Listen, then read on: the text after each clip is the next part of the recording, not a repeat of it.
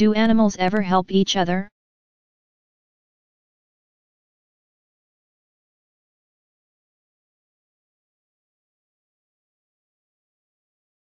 Populations of organisms within an environment may engage in a variety of relationships with each other. For example, in a relationship known as mutualism, each species provides a benefit to the other. Mutualism can occur between two animal species like the relationship between large coral reef fishes and the smaller species like the wrasses that swim into their mouths and eat the parasites that may have taken up residence there.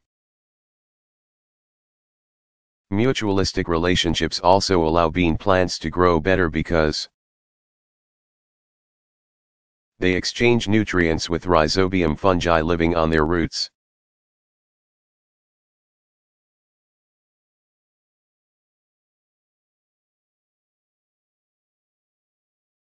What products are made from recycling plastic?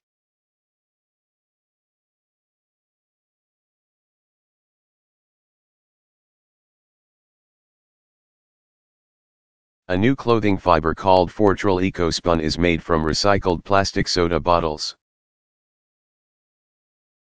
The fiber is knit or woven into garments such as fleece for outerwear or long underwear. The processor estimates that every pound of Fortrel EcoSpun fiber results in 10 plastic bottles being kept out of landfills.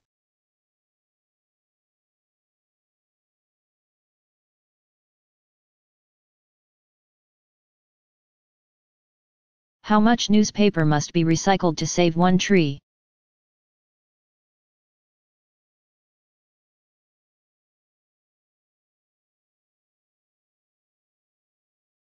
One thirty-five to 40 feet, 10.6 to 12 m, tree produces a stack of newspapers 4 feet. 1.2 m, thick, this much newspaper must be recycled to save a tree.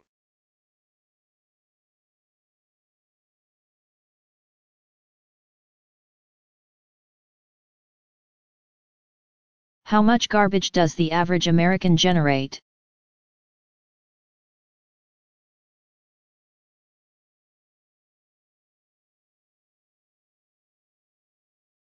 According to the Environmental Protection Agency, nearly 232 million tons of municipal waste was generated in 2000. This is equivalent to 4.6 pounds 2.1 kilograms per person per day, or approximately 1,700 pounds 770 kilograms per person per year.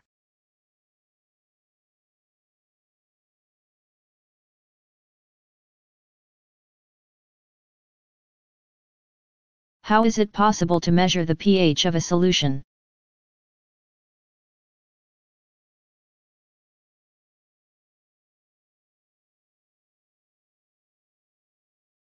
An easy way to measure the pH of a solution is with pH paper. This paper is treated with a chemical indicator that changes colors. Depending on the concentration of H+, hydrogen ions, in the solution.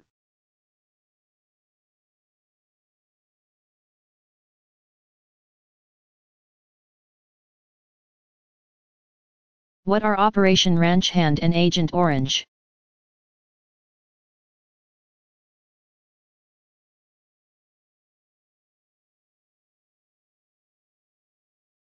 Operation Ranch Hand was the tactical military project for the aerial spraying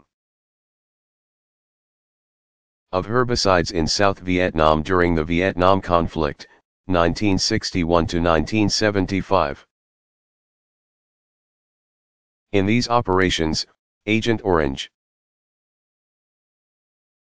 the collective name for the herbicides 2,4-D and 2,4,5-T, was used for the defoliation.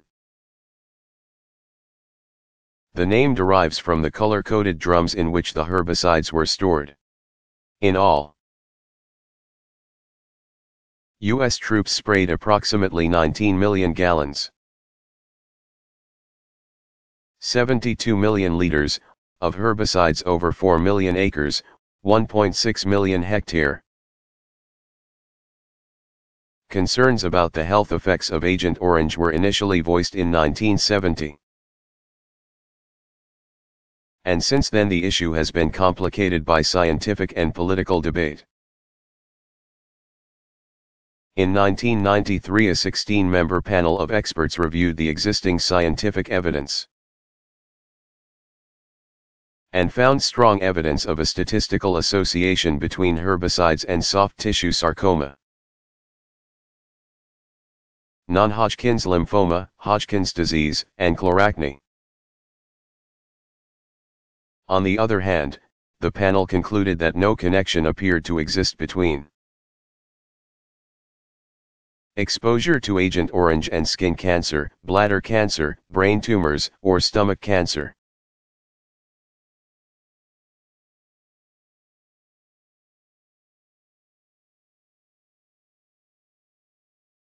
How does one prepare a 110 dilution?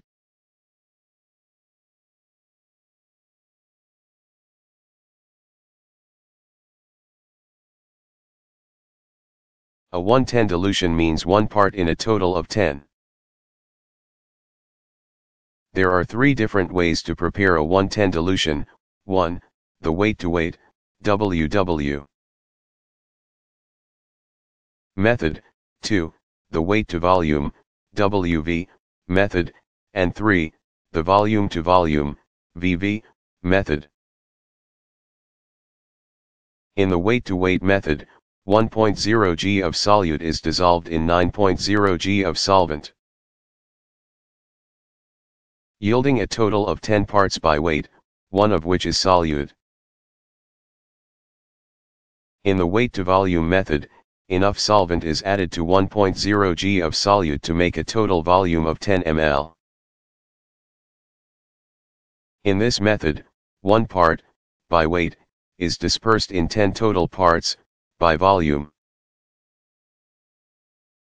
Since most biological solutions are very dilute, the accuracy of most research is not affected if a previously weighed solute is dissolved in the desired volume of solvent. The volume-to-volume -volume method is preferred when the solute is a liquid. 1 milliliter of solute, such as ethanol, added to 9.0 ml of water yields a 10-part solution, one part of which is the solute.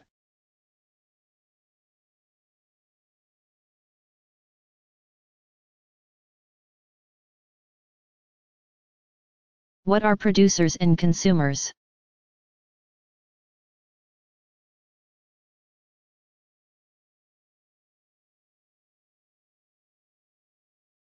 Producers and consumers are terms used to describe the different roles played by species within ecosystems. Producers are those who fix energy that is, they take energy from one source and convert it into a form their biomass, that makes it accessible to others within the system, the consumers. Consumer levels are numbered according to their reliance on producers as a main source of energy. So primary consumers are those that rely heavily on producers, while secondary and tertiary and even quaternary, consumers exploit other consumers as their preferred energy sources.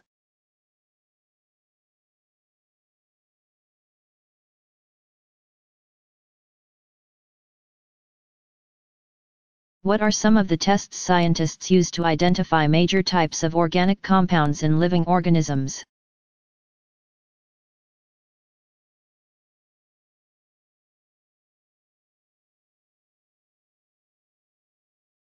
Scientists use different tests to detect the presence of carbohydrates, lipids, proteins, and nucleic acids.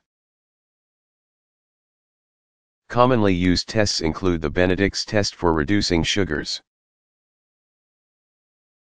the iodine test for starch, the Biuret test for proteins. The Sudan 4 test and the grease spot test for lipids, and the Dische diphenylamine test for nucleic acids.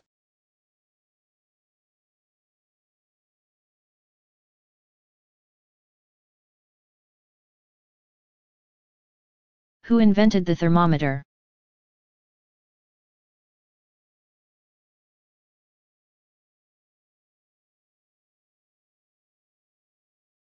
The Greeks of Alexandria knew that air expanded as it was heated. Hero of Alexandria, 1st century CE, and Philo of Byzantium. Fluid ca 250 BCE, made simple thermoscopes, but they were not real thermometers. In 1592 Galileo, 1564-1642, made a kind of thermometer that also functioned as a barometer. And in 1612 his friend Santorio Santorio, 1561-1636, adapted the air thermometer, a device in which a colored liquid was driven down by the expansion of air, to measure the body's temperature change during illness and recovery. Still, it was not until 1713 that Daniel Fahrenheit 16861736 began developing a thermometer with a fixed scale. He worked out his scale from two fixed points. The melting point of ice and the heat of the healthy human body. He realized that the melting point of ice was a constant temperature whereas the freezing point of water varied. Fahrenheit put his thermometer into a mixture of ice, water, and salt, which he marked off at 0 degrees. And, using this as a starting point, marked off melting ice at 32 degrees and blood heat at 96 degrees. In 1835 it was discovered that normal blood measured 98.6 degrees Fahrenheit. Sometimes Fahrenheit used spirit of wine as the liquid in the thermometer tube.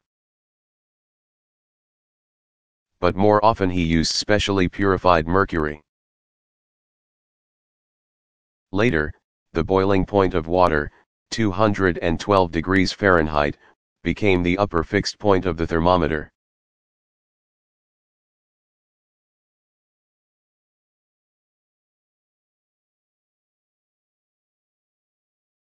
What is the Benedict's test for reducing sugars?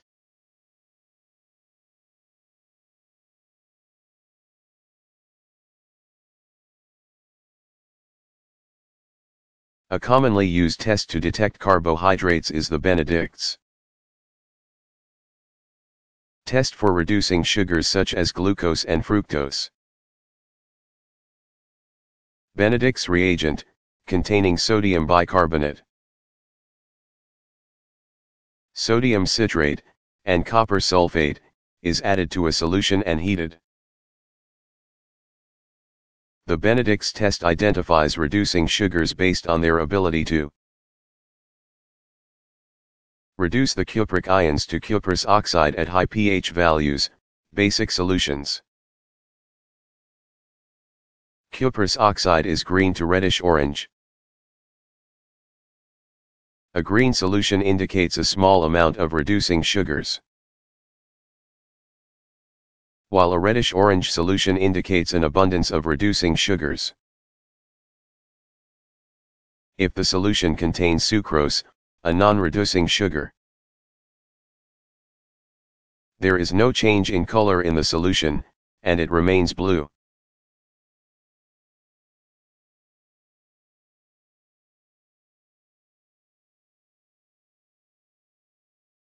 What is the Superfund Act?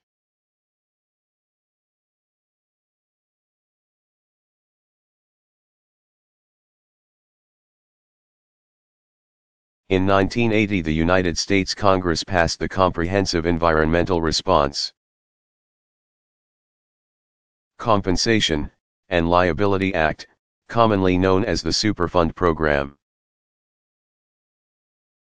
This law, along with amendments in 1986 and 1990, established a $16.3 billion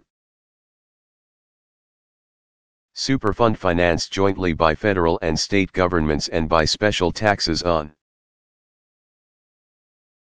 chemical and petrochemical industries, which provide 86% of the funding. The purpose of the Superfund is to identify and clean up abandoned hazardous waste. Dump sites and leaking underground tanks that threaten human health and the environment. To keep taxpayers from footing most of the bill, cleanups are based on the polluter pays principle. The EPA is charged with locating dangerous dump sites, finding the potentially liable culprits ordering them to pay for the entire cleanup, and suing them if they don't. When the EPA can find no responsible party, it draws money out of the Superfund for cleanup.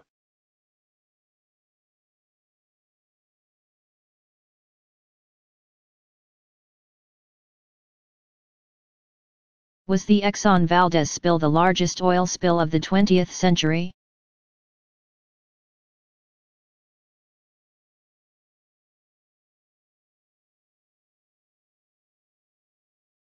Although the Exxon Valdez was widely publicized as a major spill of 255,500 barrels, 35,000 tons, in 1989, it was not the largest of the century. The first major commercial oil spill occurred on March 18, 1967, when the tanker Torrey Canyon grounded on the Seven Stones Shoal off the coast of Cornwall. England, spilling 830,000 barrels, 119,000 tons, of Kuwaiti oil into the sea. This was the first major tanker accident. However, during World War II German U-boat attacks on tankers between January and June 1942 spilled 4.3 million barrels. 590,000 tons, of oil off the east coast of the United States. Even this spill is dwarfed by the deliberate dumping of oil from Sea Island into the Persian Gulf during the First Gulf War in 1991. It is estimated that the Sea Island spill equaled almost 10.9 million barrels, 1.5 million tons, of oil. A major spill also occurred in Russia in October 1994 in the Komi region of the Arctic. The size of the spill was reported to be as much as 2 million barrels, 286,000 tons. In addition to the large disasters, day-to-day -day pollution occurs from drilling. Platforms where waste generated from platform life, including human waste. And oils, chemicals, mud, and rock from drilling are discharged into the water.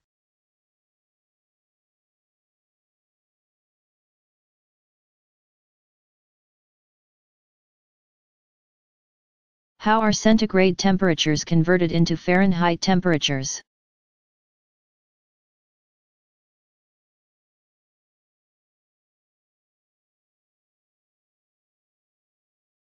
The formula for converting centigrade temperatures into Fahrenheit is degree F equals degree C x 9 fifths, plus 32. The formula for converting Fahrenheit temperatures into centigrade is degree C, degree F32, x 5 ninths.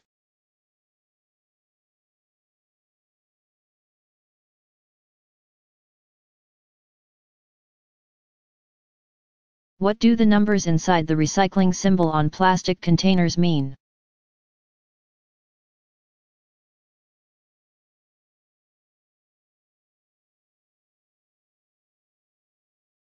The Society of the Plastics Industry developed a voluntary coding system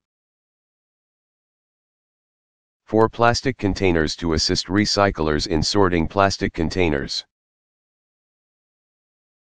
The symbol is designed to be imprinted on the bottom of the plastic containers.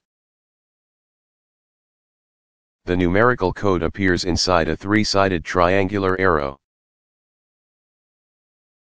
A guide to what the numbers mean is listed below.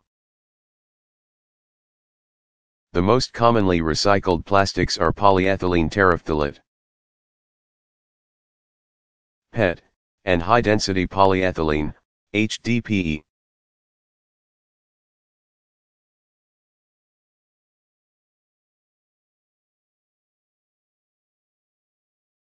What is a climax community?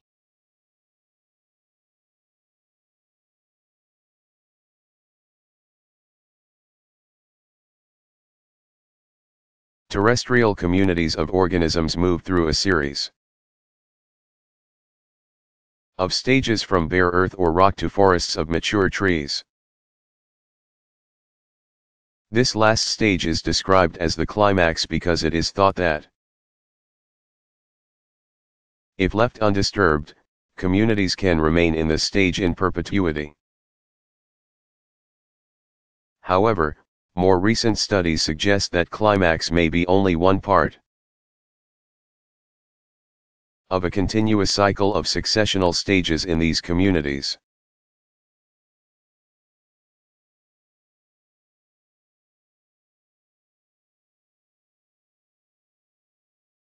Do animals ever run out of energy?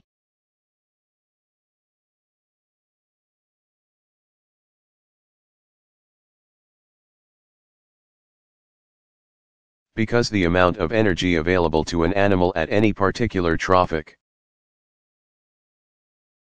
level is limited by the distance between that level and primary producers. Animals can obtain only a finite amount of energy from their habitats. Therefore, over evolutionary time, species make concessions in terms of their lifestyle attributes in order to best utilize their limited resources. Examples of items within the energy budget are activities like reproduction, growth, and maintenance while the energy expended on growth and reproduction can remain in the system as biomass. The energy used for maintenance is lost as heat.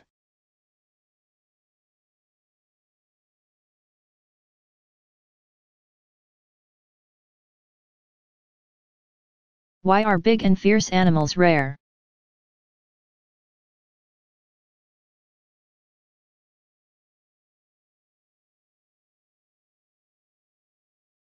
because the transfer of energy from one individual to another is inefficient.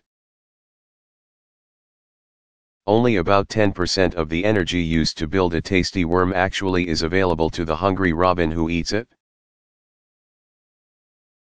As we move through the levels of the food web, each predator or predator grouping tends to become bigger and more aggressive, fiercer, than the last. However, the amount of energy available to each level continues to decline, so there is very little room at the top of the web for a predator large enough and fierce enough to consume all the others.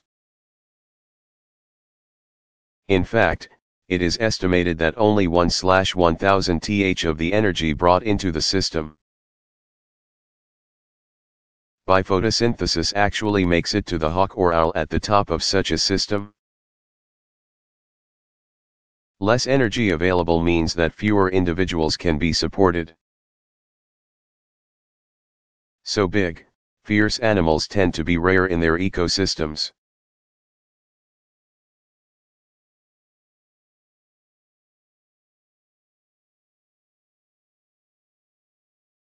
How does the iodine test detect starch?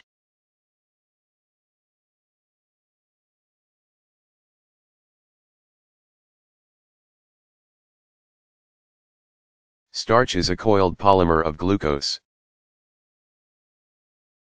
Iodine reacts with the coiled molecules and turns bluish-black when added to a solution. A solution that remains a yellowish-brown color is a negative test for starch. Whereas one that turns bluish-black is a positive test for starch.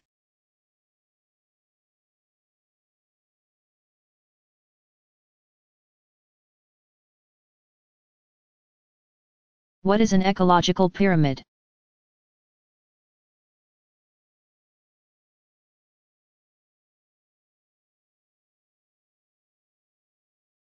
If the organisms in a food chain are arranged according to trophic levels, they form a pyramid, with a broad base representing the primary producers. And usually only a few individuals in the highest part of the pyramid. Also known as a pyramid of numbers, an ecological pyramid is a way of describing the distribution of energy. Biomass, or individuals among the different levels of ecosystem structure.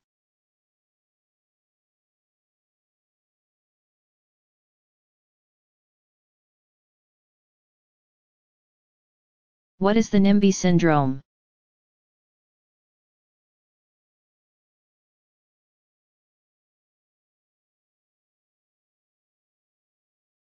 NIMBY is the acronym for Not in My Backyard. It refers to major community resistance to construction of new incinerators, landfills, prisons, roads, and so forth. NIMBY is not in my front yard.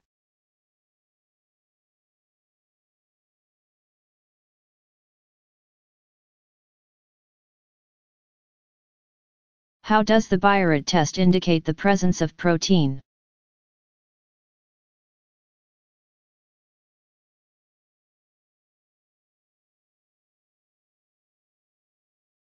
The bond between the amino group and the carboxyl acid. Group on adjacent amino acids in a protein is a peptide bond. When the Biuret reagent, 1% solution of copper sulfate is added to a solution containing peptide bonds, the solution turns a violet color. The violet color is a positive test for the presence of protein. The more 516 intense the color, the greater the number of peptide bonds that react.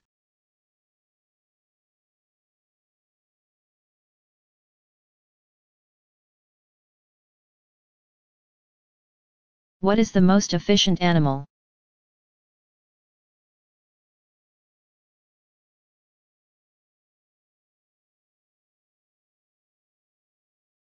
Efficiency may be judged by a variety of measures. And thus it is difficult to pick the most efficient animal. For example, small animals tend to be much less efficient than larger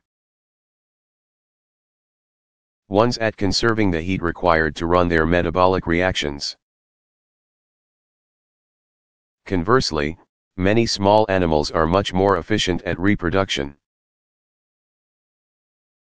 Compare the reproductive output of a roach to that of an elephant. Therefore, determining the comparative efficiency of different animals depends upon what attributes are selected for measurement.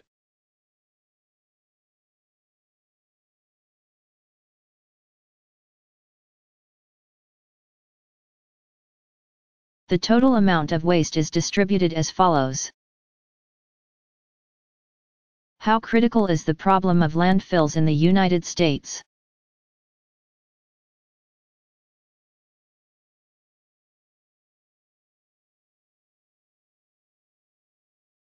Landfilling has been an essential component of waste management for several decades.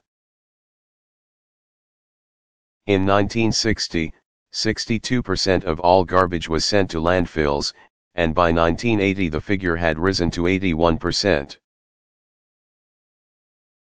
By 1990, 84% of the 269 million tons of municipal Solid waste that was generated was sent to landfills. An increased awareness of the benefits of recycling has brought a decline in the actual number of landfills from 4,482 in 1995 to 2. 142 in 2000 as well as a decrease in the amount of municipal solid waste that is sent to landfills. Figures for 2000 indicate that only 60% of the municipal solid waste generated was sent to landfills. The total amount of recycled waste increased from 8% to 33% between 1990 and 2000.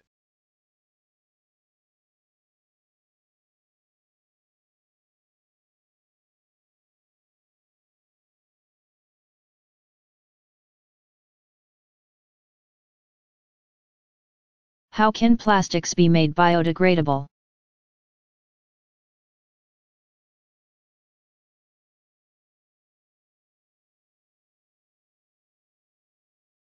Plastic neither rusts nor rots. This is an advantage in its usage, but when it comes to disposal of plastic, the advantage turns into a liability. Degradable plastic has starch in it so that it can be attacked by starch-eating bacteria to eventually disintegrate the plastic into bits. Chemically degradable plastic can be broken up with a chemical solution that dissolves it. Used in surgery, biodegradable plastic stitches slowly dissolve in the body fluids. Photodegradable plastic contains chemicals that disintegrate. Over a period of 1 to 3 years when exposed to light. 25% of the plastic yokes used to package beverages are made from a plastic called Ecolyte, which is photodegradable.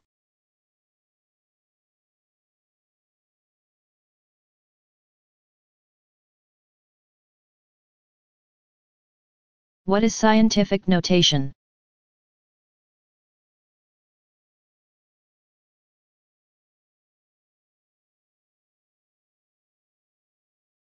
Scientific notation allows scientists to manipulate very large or very small numbers. It is based on the fact that all numbers can be expressed as the product of two numbers. One of which is the power of the number 10, written as the small superscript next to the number 10 and called the exponent. Positive exponents indicate how many times the number must be multiplied by 10. While negative exponents indicate how many time a number must be divided by 10.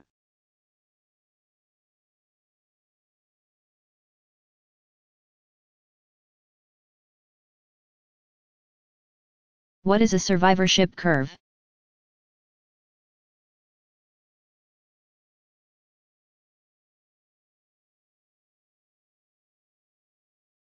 A survivorship curve can indicate how long individuals survive in a population. There are three distinct types of curves. In a type I curve, the young have a high survival rate and typically live a long life. An example of this curve can be seen in the Dall sheep that live in Mt. Denali National Park in Alaska. Humans are also an example of a type I curve. In a type 2 curve, individuals have a relatively constant death rate throughout their lifespan. An example of this curve can be found in populations of American robins. A type 3 curve includes those species that have a large number of young most of which die at a high rate at an early age but have a lower death rate at later ages. An example of this survivorship curve can be found in lobsters and crabs.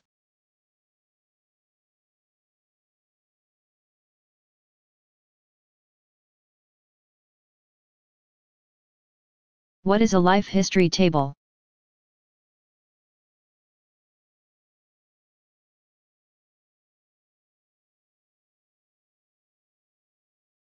A life history table, also referred to as a life table, is a table that shows both survival and death rates in a specific population or organisms. The life table is patterned after actuarial tables used by insurance companies.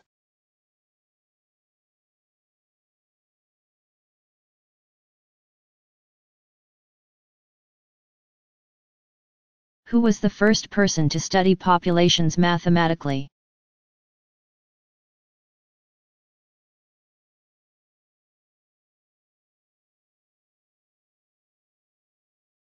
Thomas Robert Malthus, 1766 to 1834, in 1798 attempted to inform people that the human population,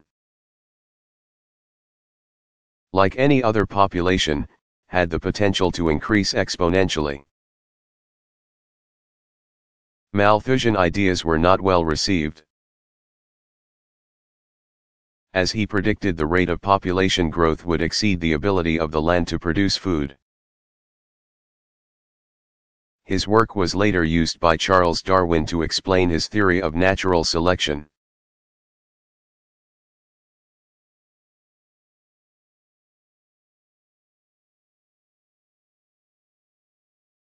When offered a choice between plastic or paper bags for your groceries, which should you choose?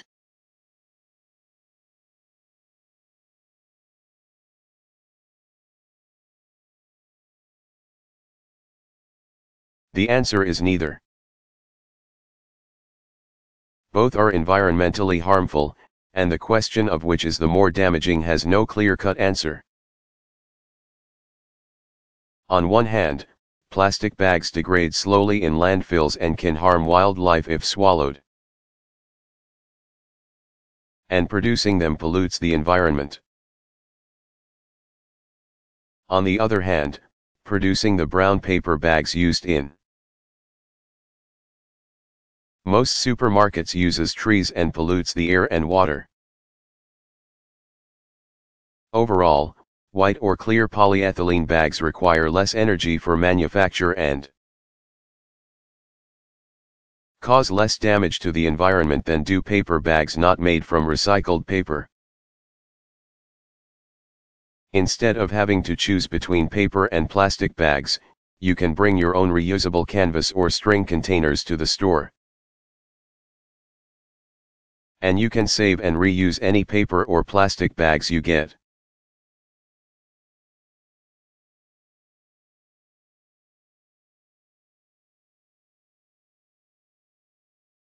What is a population?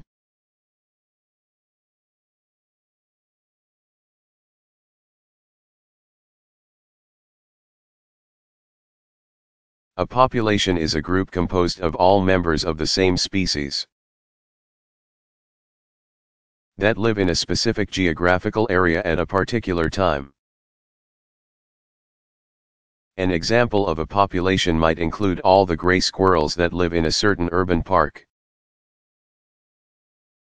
The areas occupied by a population could include the small area.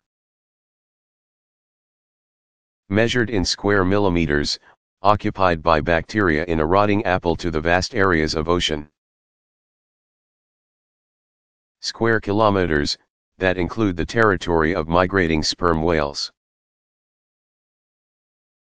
Population ecology is the branch of ecology that studies the structure and changes within a population. Studies of specific populations will indicate the dynamics of the population. In terms of active, ongoing growth, declining growth, or stability.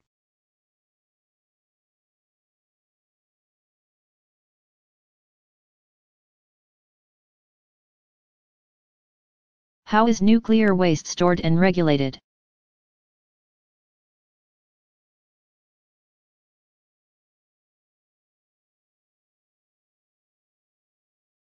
Nuclear wastes consist either of fission products formed from atom splitting of uranium, cesium, Strontium, or krypton, or from transuranic elements formed when uranium atoms absorb free neutrons. Wastes from transuranic elements are less radioactive than fission products. However, these elements remain radioactive far longer than fission products. Transuranic wastes include irradiated fuel, spent fuel, in the form of 12 feet 4 meters long rods. High-level radioactive waste in the form of liquid or sludge, and low-level waste. Non-transuranic or legally high-level, in the form of reactor hardware, piping, toxic resins. Water from fuel pools, and other items that have become contaminated with radioactivity. Currently, most spent nuclear fuel in the United States is safely stored in specially designed pools at individual reactor sites around the country. If pool capacity is reached, licensees may move toward use of above-ground dry storage casks. The three low-level radioactive waste disposal sites are Barnwell, South Carolina, Hanford, Washington, and EnviroCare, Utah. Each site accepts low-level radioactive waste from specific regions of the country. But only EnviroCare uses above-ground storage. Most high-level nuclear waste has been stored in double-walled, Stainless steel tanks surrounded by 3 feet 1 meter of concrete. The current best storage method, developed by the French in 1978, is to incorporate the waste into a special molten glass mixture. Then enclose it in a steel container and bury it in a special pit. The Nuclear Waste Policy Act of 1982, as amended in 1987,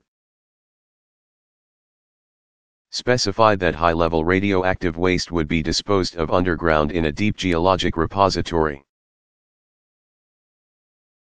Yucca Mountain, Nevada was chosen as the single site to be developed for disposal of high-level radioactive waste. On July 23, 2002, President George W. Bush signed House Joint Resolution 87.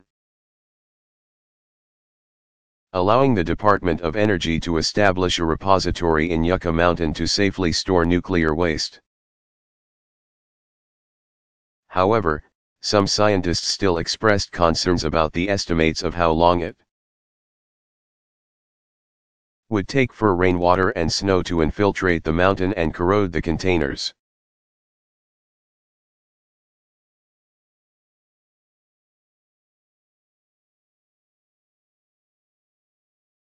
How did the original Celsius temperature scale differ from the one in use now?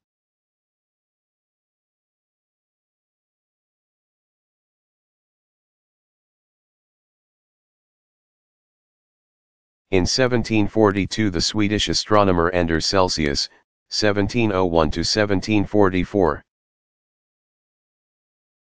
set the freezing point of water at 100 degrees Celsius and the boiling point of water at 0 degrees Celsius. It was Carolus Linnaeus, 1707-1778, who reversed the scale. But a later textbook attributed the modified scale to Celsius, and the name has remained.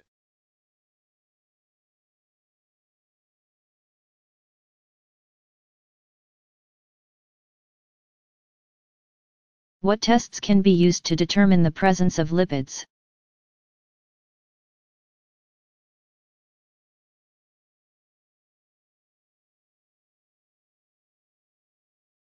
A very simple test to determine the presence of lipids is the grease spot. Test. Place a drop of solution on an unglazed, clean sheet of brown paper.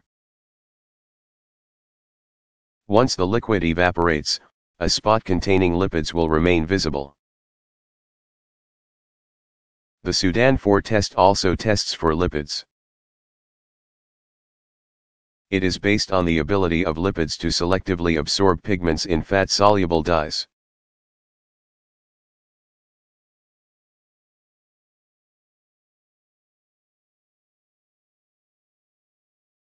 What is the SI system of measurement?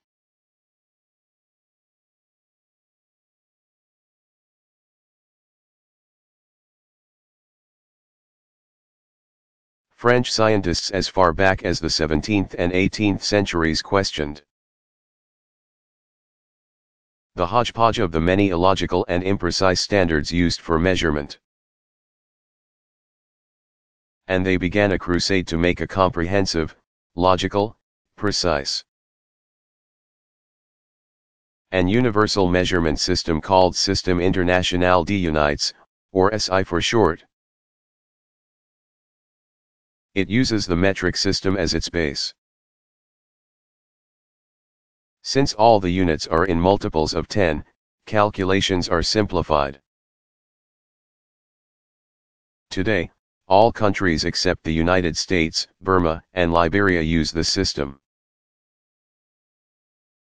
However, some elements within American society do use SI scientists. Exporting slash importing industries, and federal agencies, as of November 30, 1992. The SI or metric system has seven fundamental standards, the meter, for length, the kilogram.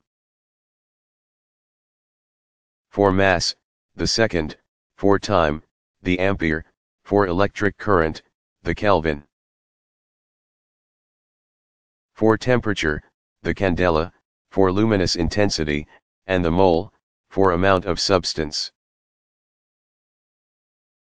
In addition, two supplementary units the radian, plane angle, and steradian, solid angle.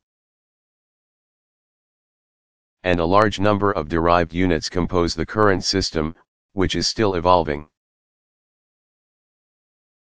Some derived units, which use special names, are the Hertz, Newton, Pascal, Joule, Watt. Coulomb, Volt, Farad, Ohm, Siemens, Weber, Tesla, Henry, Lumen, Lux, Becquerel, Gray, and Sievert. The C's unit of volume or capacity is the cubic decimeter, but many still use liter in its place.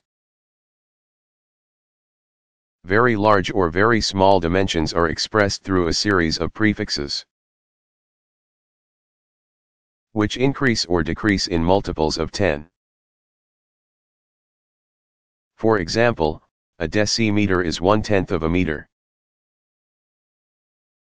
A centimeter is 1 slash 100 of a meter, and a millimeter is 1 slash 1000 of a meter. A decameter is 10 meters, a hectometer is 100 meters, and a kilometer is 1000 meters. The use of these prefixes enables the system to express these units in an orderly way and avoid inventing new names and new relationships.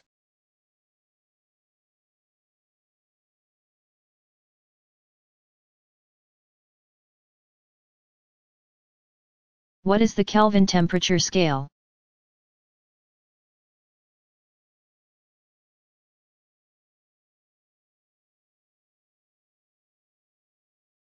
Temperature is the level of heat in a gas, liquid, or solid. The freezing and boiling points of water are used as standard reference levels in both the metric centigrade, and the English system, Fahrenheit. In the metric system, the difference between freezing and boiling is divided into 100 equal intervals called degree centigrade, degree C. In the English system, the intervals are divided into 180 units. With one unit called degree Fahrenheit, degree F. But temperature can be measured from absolute zero, no heat, no motion. This principle defines thermodynamic temperature and establishes a method to measure it upward. This scale of temperature is called the Kelvin temperature scale, after its inventor, William Thomson, Lord Kelvin. 1824 to 1907, who devised it in 1848. The Kelvin, symbol K, has the same magnitude as the degree centigrade. The difference between freezing and boiling water is 100 degrees, but the two temperatures differ by 273.15 degrees. Absolute zero, which is minus 273.15 degrees Celsius on the centigrade scale.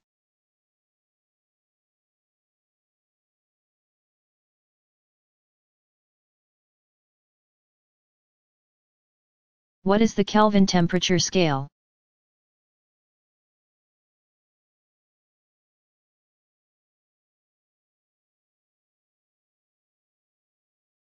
Temperature is the level of heat in a gas, liquid, or solid. The freezing and boiling points of water are used as standard reference levels in both the metric centigrade, and the English system, Fahrenheit. In the metric system, the difference between freezing and boiling is divided into 100 equal intervals called degree centigrade, degree C. In the English system, the intervals are divided into 180 units. With one unit called degree Fahrenheit, degree F but temperature can be measured from absolute zero, no heat, no motion. This principle defines thermodynamic temperature and establishes a method to measure it upward. This scale of temperature is called the Kelvin temperature scale, after its inventor, William Thomson, Lord Kelvin. 1824 to 1907, who devised it in 1848. The Kelvin, symbol K, has the same magnitude as the degree centigrade. The difference between freezing and boiling water is 100 degrees, but the two temperatures differ by 273.15 degrees. Absolute zero, which is minus 273.15 degrees Celsius on the centigrade scale.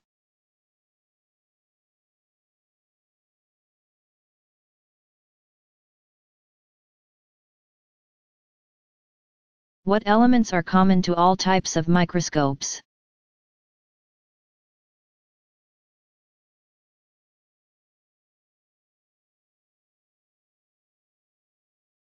Three elements are needed to form an image, a source of illumination, a specimen to be examined,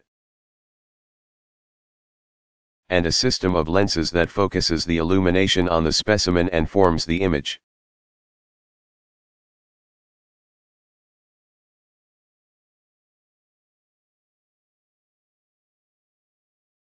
What elements are common to all types of microscopes?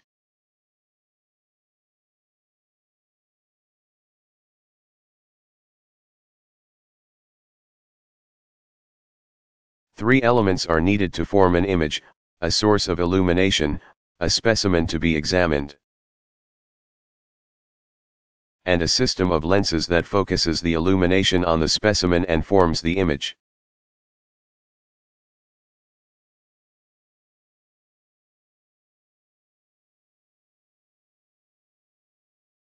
What distinguishes the different types of microscopes?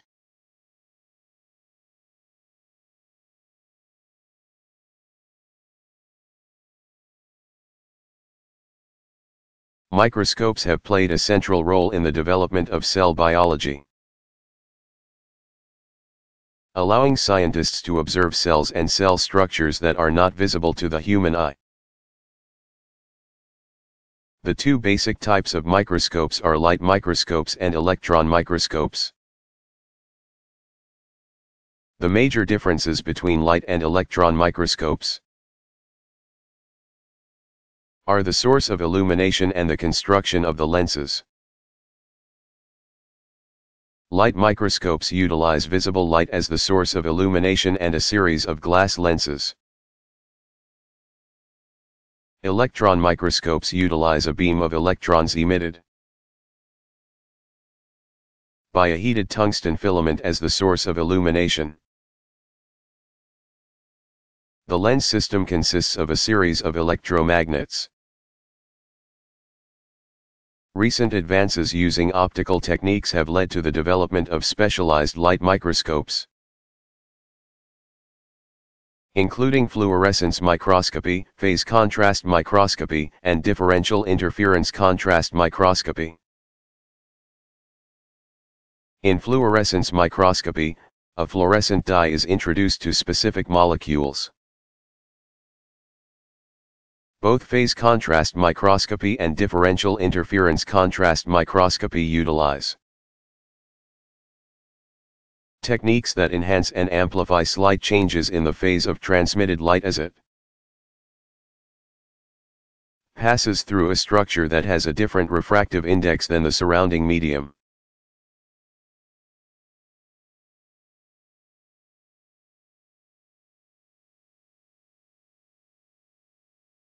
What distinguishes the different types of microscopes?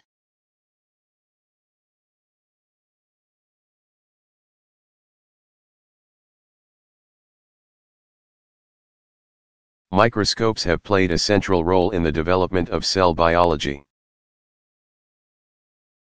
Allowing scientists to observe cells and cell structures that are not visible to the human eye. The two basic types of microscopes are light microscopes and electron microscopes. The major differences between light and electron microscopes are the source of illumination and the construction of the lenses. Light microscopes utilize visible light as the source of illumination and a series of glass lenses.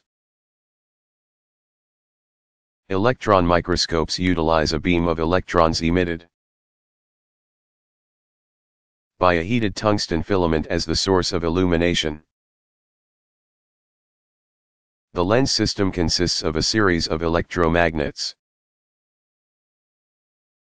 Recent advances using optical techniques have led to the development of specialized light microscopes including fluorescence microscopy, phase contrast microscopy, and differential interference contrast microscopy. In fluorescence microscopy, a fluorescent dye is introduced to specific molecules. Both phase contrast microscopy and differential interference contrast microscopy utilize Techniques that enhance and amplify slight changes in the phase of transmitted light as it passes through a structure that has a different refractive index than the surrounding medium.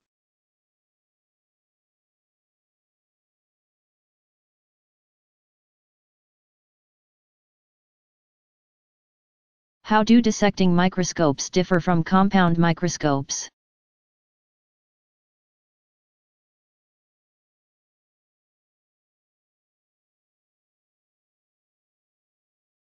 Compared to compound microscopes, dissecting microscopes also called stereoscopic microscopes provide a much larger working distance between the lens and stage in order to dissect and manipulate specimens. The light source on a dissecting microscope is above the specimen since the specimen is often too thick to allow light to be transmitted from a light source below the specimen. Dissecting microscopes are always binocular, which provides a three-dimensional image.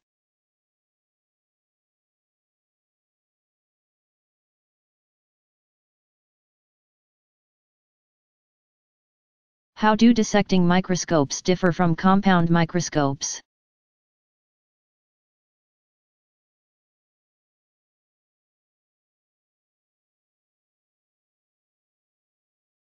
Compared to compound microscopes, dissecting microscopes also called stereoscopic microscopes provide a much larger working distance between the lens and stage in order to dissect and manipulate specimens. The light source on a dissecting microscope is above the specimen since the specimen is often too thick to allow light to be transmitted from a light source below the specimen. Dissecting microscopes are always binocular, which provides a three-dimensional image.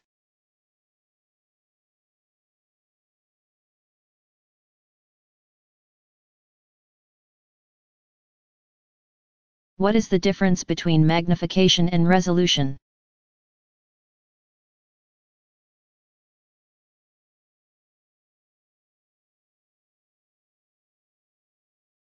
Magnification making smaller objects seem larger is the measure of how much an object is enlarged.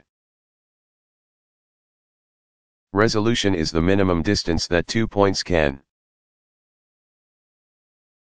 be separated and still be seen as two distinct points.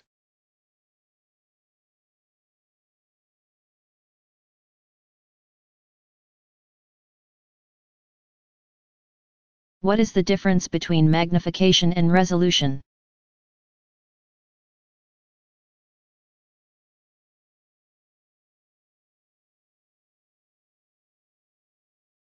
Magnification making smaller objects seem larger is the measure of how much an object is enlarged. Resolution is the minimum distance that two points can be separated and still be seen as two distinct points.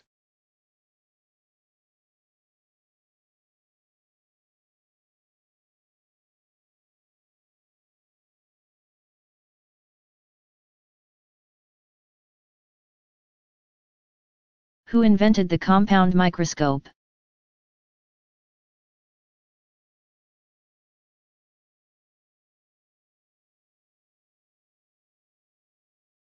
The principle of the compound microscope, in which two or more lenses are arranged to form an enlarged image of an object,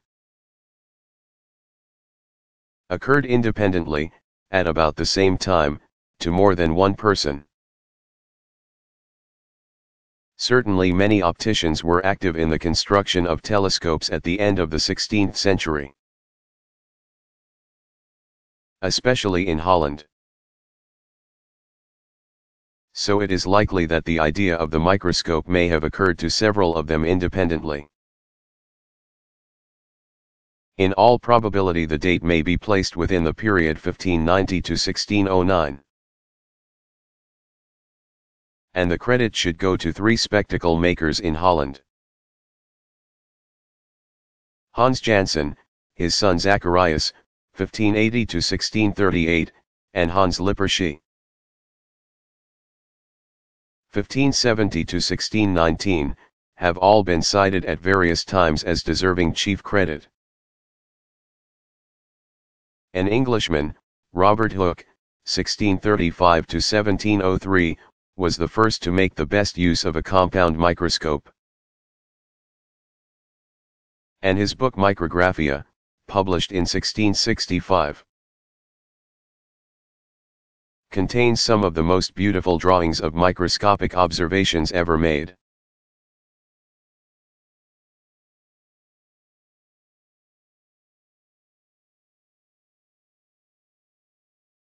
Who invented the compound microscope?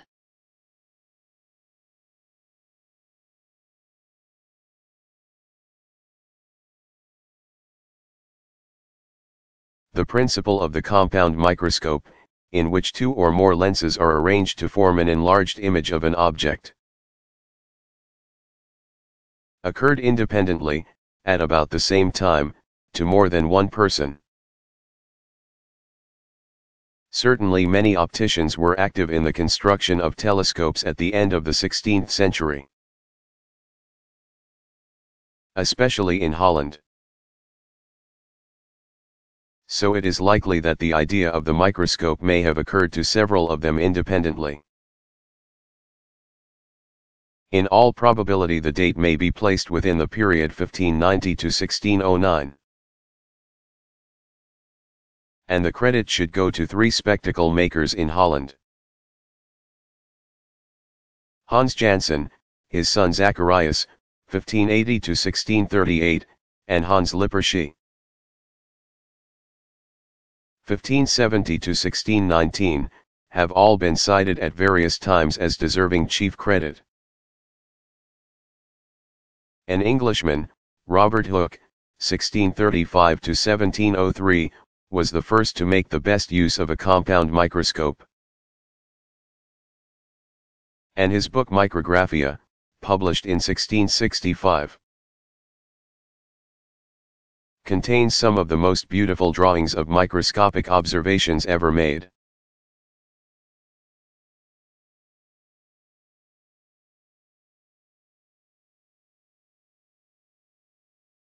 Who invented the electron microscope?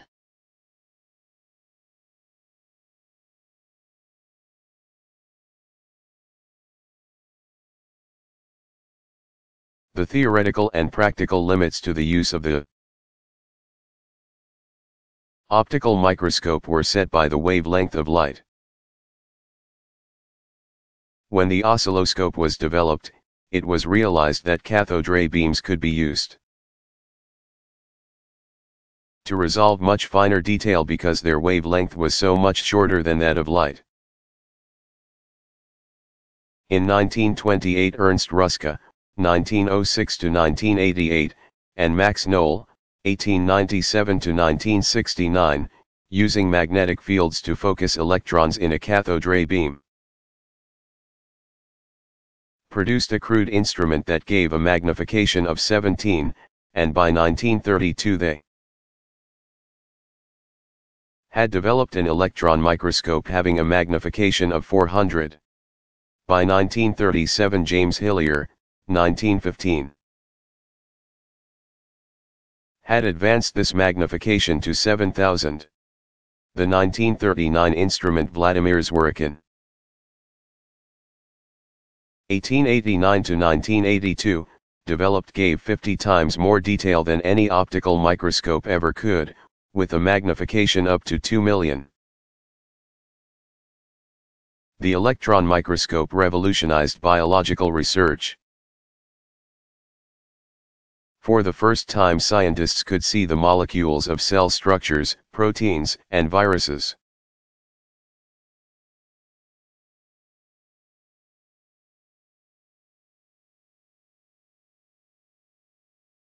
Who invented the electron microscope?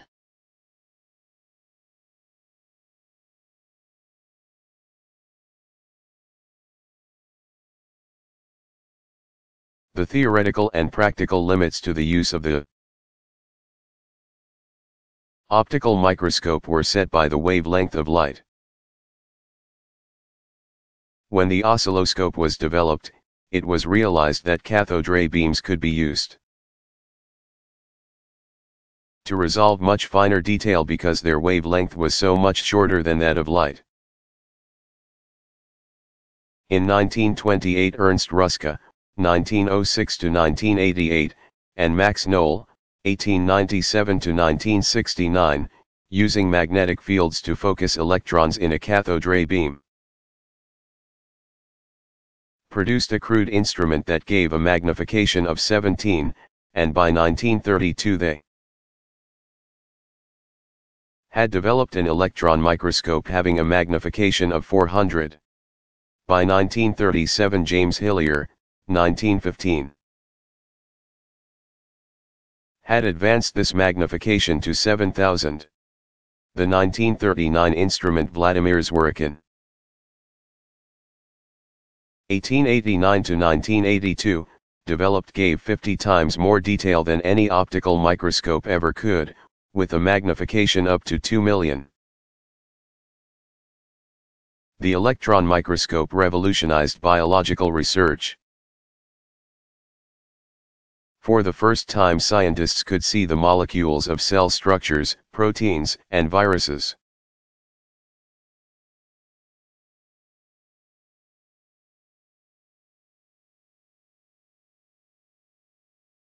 How does a transmission electron microscope differ from a scanning electron microscope?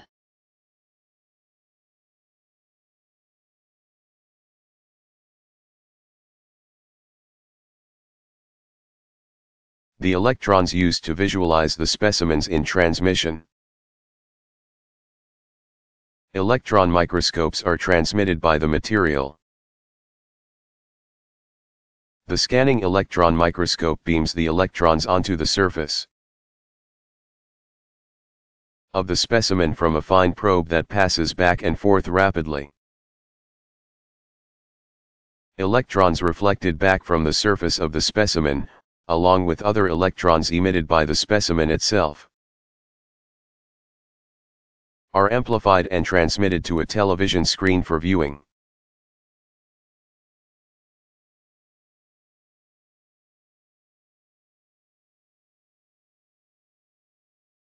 How does a transmission electron microscope differ from a scanning electron microscope?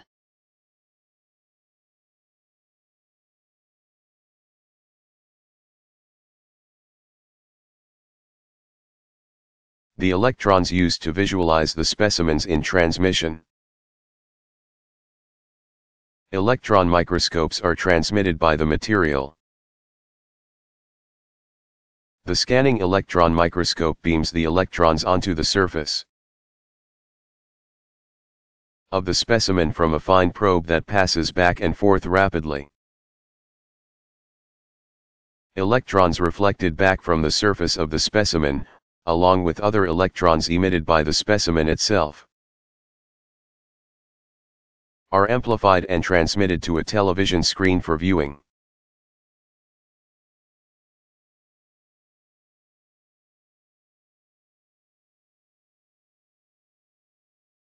What is scanning tunneling microscopy?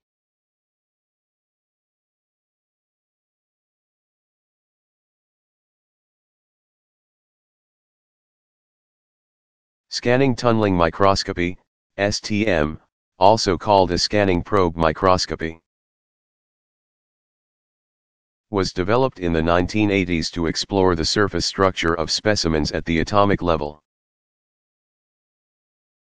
This technique uses electronic methods to move a metallic tip, a conducting material such as platinum iridium.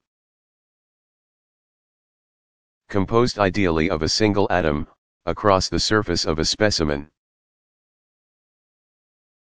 As the tip is moved across the surface of the specimen, electrical voltage is applied to the surface. If the tip is close enough to the surface and the surface is electrically conductive, Electrons will begin to leak or tunnel across the gap between the probe and the sample. The tip of the probe is automatically moved up and down to maintain a constant rate of electron tunneling across the gap as the probe scans the sample. The movement is presented on a video screen. Successive scans then build up an image of the surface at atomic resolution.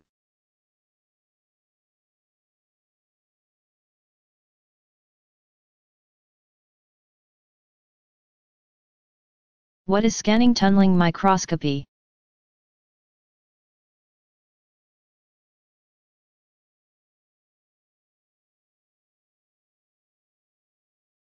Scanning tunneling microscopy, STM, also called a scanning probe microscopy, was developed in the 1980s to explore the surface structure of specimens at the atomic level. This technique uses electronic methods to move a metallic tip, a conducting material such as platinum iridium. Composed ideally of a single atom, across the surface of a specimen. As the tip is moved across the surface of the specimen, electrical voltage is applied to the surface. If the tip is close enough to the surface and the surface is electrically conductive, electrons will begin to leak or tunnel across the gap between the probe and the sample. The tip of the probe is automatically moved up and down to maintain a constant Rate of electron tunneling across the gap as the probe scans the sample. The movement is presented on a video screen. Successive scans then build up an image of the surface at atomic resolution.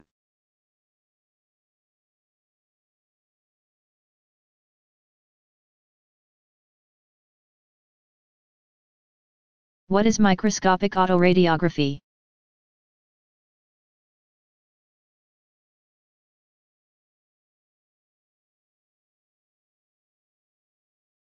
Microscopic autoradiography is a technique used to localize radioactive molecules within cells. It utilizes photographic emulsion to determine where a specific radioactive compound is located within a cell at the time the cell is fixed and sectioned for microscopy.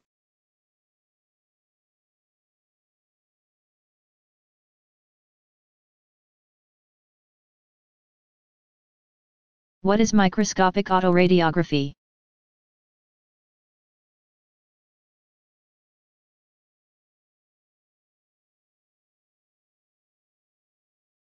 Microscopic autoradiography is a technique used to localize radioactive molecules within cells. It utilizes photographic emulsion to determine where a specific radioactive compound is located within a cell at the time the cell is fixed and sectioned for microscopy.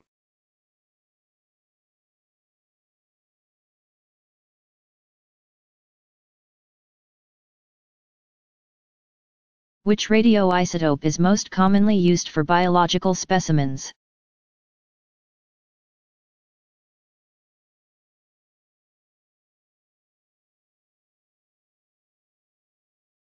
The most widely used radioisotope in autoradiography is tritium, 3H. Tritium allows a resolution of about 1 micrometer with the light microscope and close to 0.1 micrometer with the electron microscope. Since hydrogen is common in biological molecules, a wide range of 3H labeled compounds are potentially available for use in autoradiography. 3H amino acids are used for locating newly synthesized proteins, 3-thymidine is used to monitor DNA synthesis. Ribonucleotides such as 3H-uridine or 3H-cytidine are used to localize newly made RNA molecules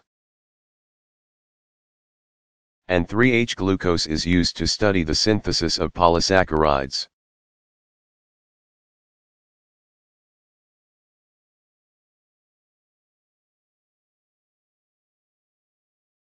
Which radioisotope is most commonly used for biological specimens?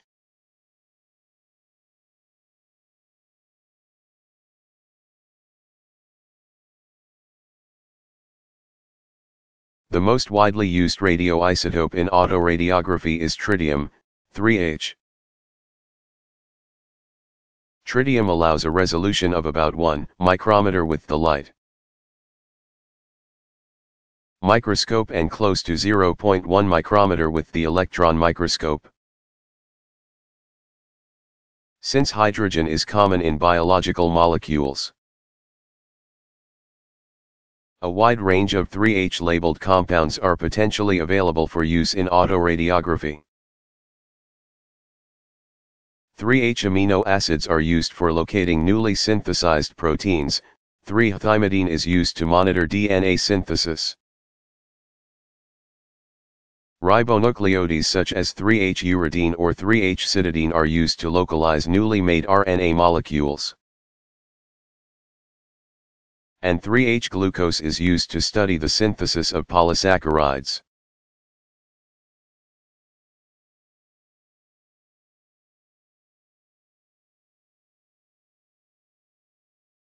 What are the steps of microscopic autoradiography?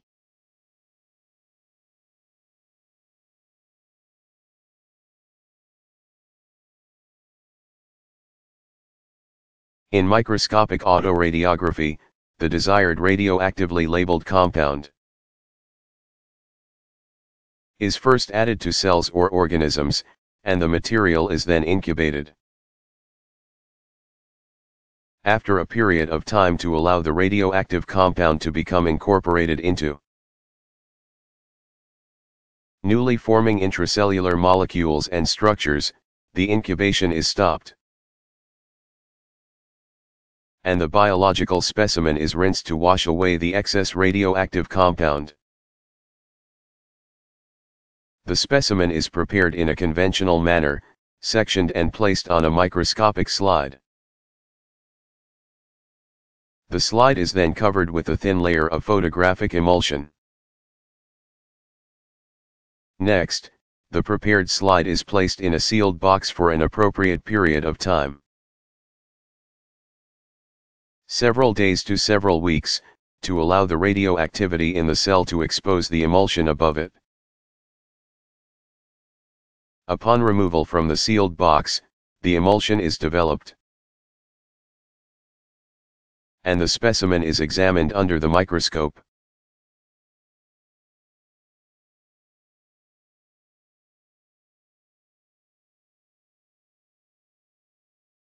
What are the steps of microscopic autoradiography?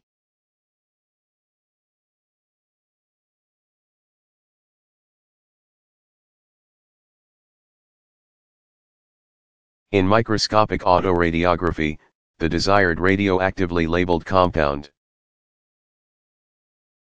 is first added to cells or organisms, and the material is then incubated. After a period of time to allow the radioactive compound to become incorporated into newly forming intracellular molecules and structures, the incubation is stopped and the biological specimen is rinsed to wash away the excess radioactive compound. The specimen is prepared in a conventional manner, sectioned and placed on a microscopic slide. The slide is then covered with a thin layer of photographic emulsion. Next, the prepared slide is placed in a sealed box for an appropriate period of time several days to several weeks, to allow the radioactivity in the cell to expose the emulsion above it. Upon removal from the sealed box, the emulsion is developed. And the specimen is examined under the microscope.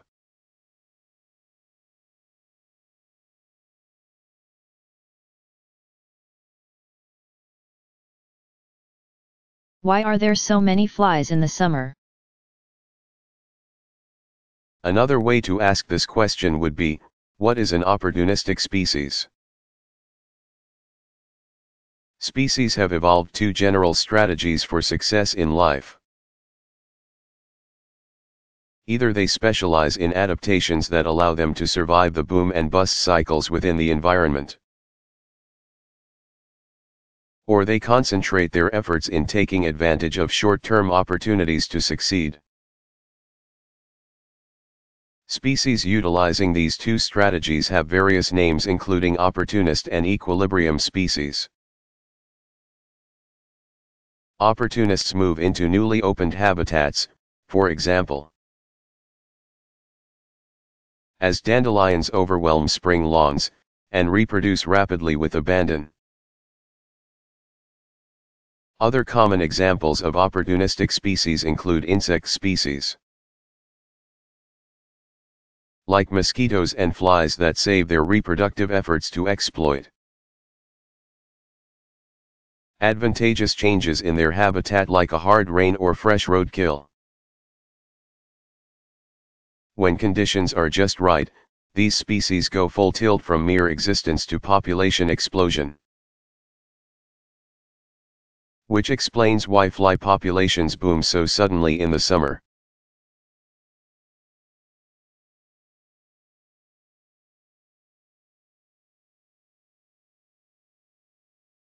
What is scanning tunneling microscopy?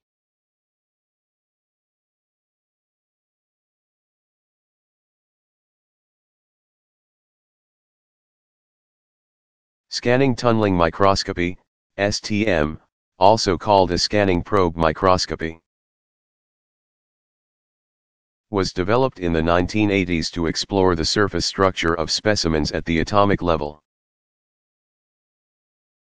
This technique uses electronic methods to move a metallic tip, a conducting material such as platinum iridium.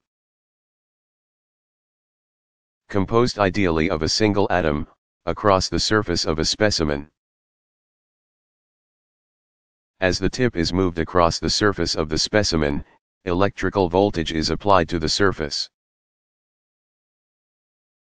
If the tip is close enough to the surface and the surface is electrically conductive, electrons will begin to leak or tunnel across the gap between the probe and the sample. The tip of the probe is automatically moved up and down to maintain a constant rate of electron tunneling across the gap as the probe scans the sample. The movement is presented on a video screen. Successive scans then build up an image of the surface at atomic resolution.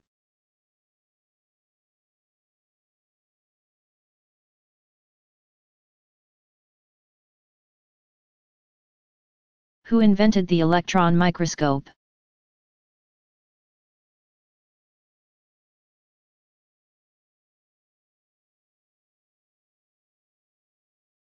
The theoretical and practical limits to the use of the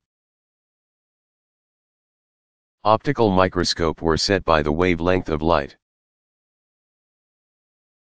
When the oscilloscope was developed, it was realized that cathode ray beams could be used to resolve much finer detail because their wavelength was so much shorter than that of light.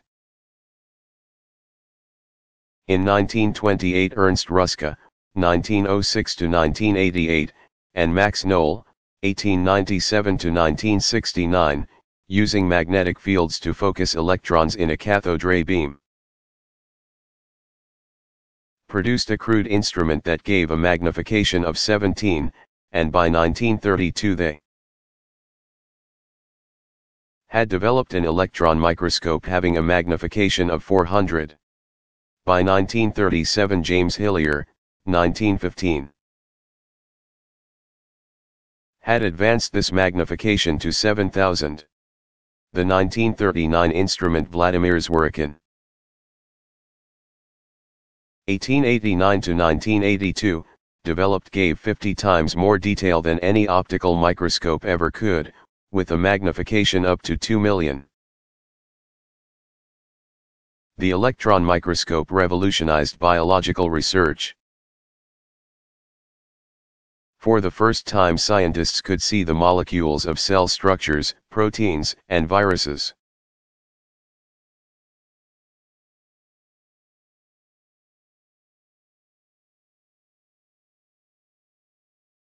How is biodiversity measured?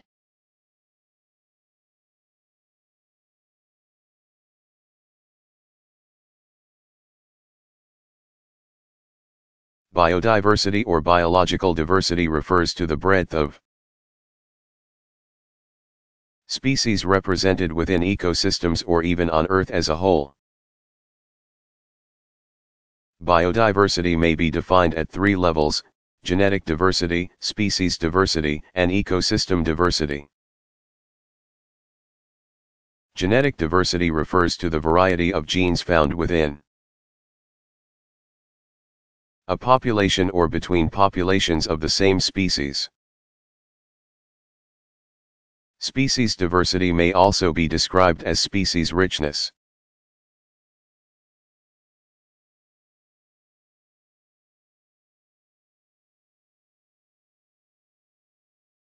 What is a variable?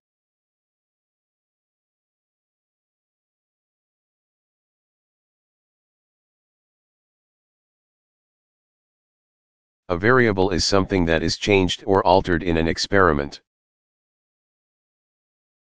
For example, to determine the effect of light on plant growth. Growing one plant in a sunny window and one in a dark closet will provide evidence as to the effect of light on plant growth.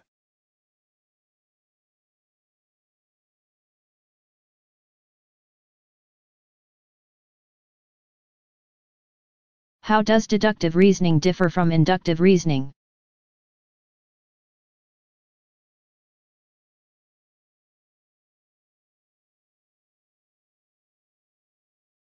Deductive reasoning, often used in mathematics and philosophy.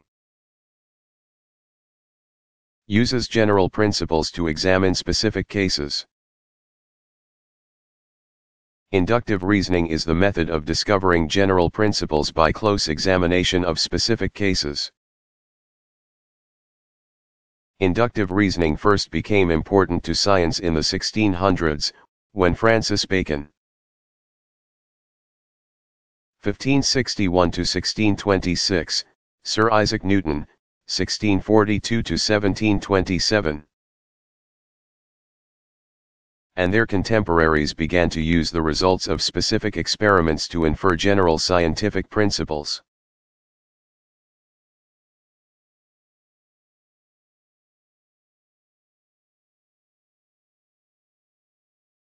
What is biopiracy?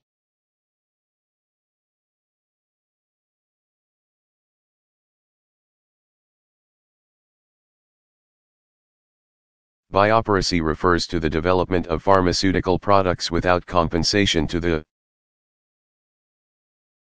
native communities that protected and nurtured the organisms on which these products are based.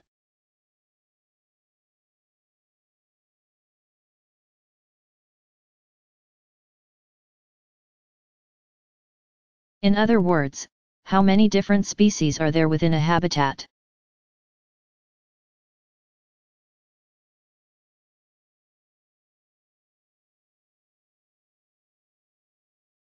Finally, measuring ecosystem diversity is an attempt to keep track of the loss of different types of habitats. This in turn gives scientists a sense of what types of species are going extinct at any given time.